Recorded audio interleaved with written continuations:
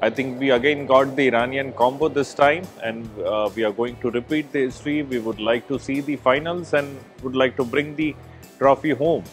We have got Fazel Atrachali and Nabibakhsh, the, the most uh, sought after the Iranian uh, combo of the season, and that's what we got.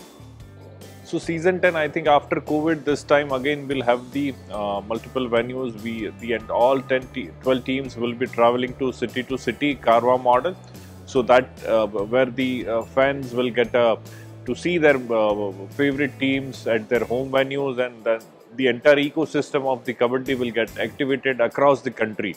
The season 10 is very special for any sports league across the globe and uh, having an indigenous league with a sports like kabaddi it's a great milestone which we are going to achieve